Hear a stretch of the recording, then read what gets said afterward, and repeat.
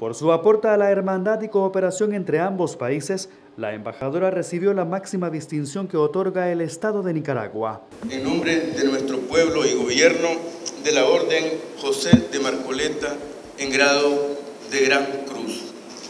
En merecido reconocimiento a sus méritos y aportes en el fortalecimiento de las relaciones de hermandad, amistad, intercambios, solidaridad y cooperación entre nuestros países. La diplomática hondureña definió a Nicaragua como su segundo hogar, además agradeció la distinción misma que le compromete a seguir trabajando por la unidad centroamericana. Este homenaje tiene para mí un significado muy especial, en virtud que hace aproximadamente 27 años hice de este bello país mi segundo hogar, en que permanecí durante casi 15 años, cuando laboré en la Corte Centroamericana de Justicia.